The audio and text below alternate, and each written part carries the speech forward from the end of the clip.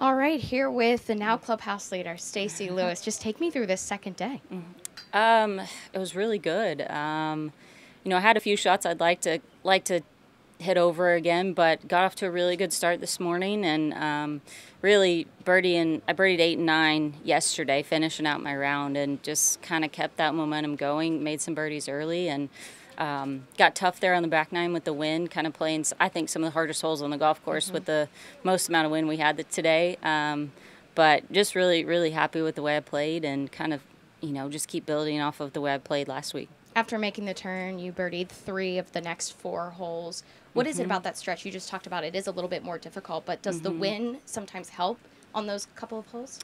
Yeah, you've got this stretch kind of when you start on the front nine. You got um, eight through about uh, what is it, about 13, where you got some shorter holes, you got some par fives, you're gonna have wedges in your hand, and that's I think that's where you can make a move on this golf course. And then 14, 15, 16 is just a really hard stretch, and then you got some op- another opportunity there on 17 and 18. So just kind of take what the course gives you. Um, you know, know that you're you're probably going to make a bogey or two here and there, and just keep trying to make as many birdies as you can. The first event you finished with the top 10. You're coming mm-hmm. off a top 20 finish last week. How comfortable mm-hmm. are you feeling in your game? I know it's mm-hmm. the third event in a row, and a lot of people are kind of starting to feel that tiredness, but mm-hmm. you're not showing it.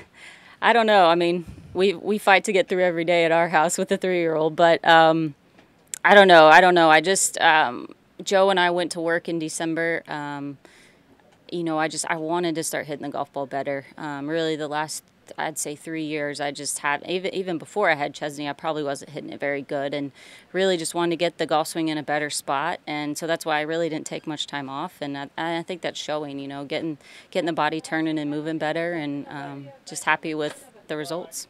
How satisfied are you in your game at the moment, knowing that you know if reflecting on the last couple of years, like you mm-hmm. said, you mm-hmm. wanted to hit the ball better. Where you are at this stage, mm-hmm. do you feel as as you're getting to where you mm-hmm. want to be?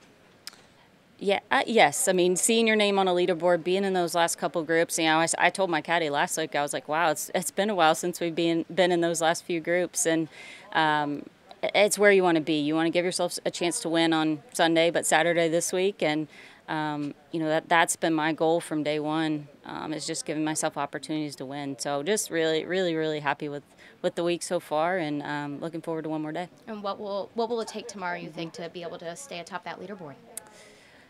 I don't know. I mean, I, I think the wind is supposed to switch directions on us, so we're going to see a completely different golf course tomorrow, which I which could be to my advantage. You know, I, I need I need the golf course to play a little tougher, um, where you have to think a little bit. You know, if if if these girls can just bomb it on me, um, and and there's no elements, you know, I probably don't stand a chance. But um, if we have to think tomorrow, I th- I like my chances.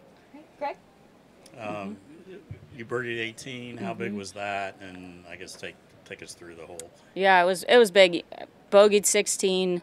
Um, had a pretty good look on 17 and didn't make it. Um, so coming there, I mean, it was I hit a great second shot. Had about 245 to the front edge and just ripped a three wood as hard as I could and and got it up there for an easy two putt. So it, it was just really big. You know, it it makes dinner taste a little better. Um, makes you you know just makes this afternoon a lot better. Um, but you have to. I mean, you have to take advantage of these downwind par fives, and um, you know I need to need to do that tomorrow too. All right, good by me. Thank, Thank you, you Stacy.